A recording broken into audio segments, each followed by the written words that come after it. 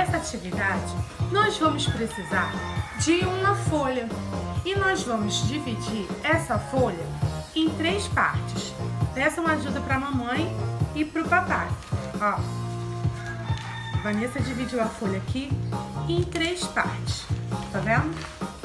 Ó, uma, duas, três. E aí, ó, a tia Vanessa fez uma bolinha aqui, outra aqui e outra aqui. Nessa primeira parte, o que, que nós vamos fazer? Nós vamos treinar o movimento da vogal A com o giz de C. E é assim, ó. A Vanessa vai mostrar pra vocês.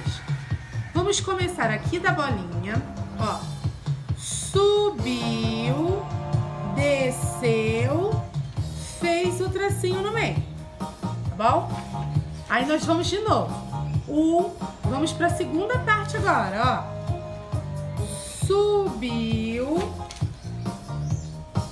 desceu, fez o tracinho no meio. Quero todo mundo tentando. Vamos ver agora, ó. Subiu, desceu, fez o tracinho no meio. Quero todo mundo treinando em casa, tá, Maternal 2? Um beijo!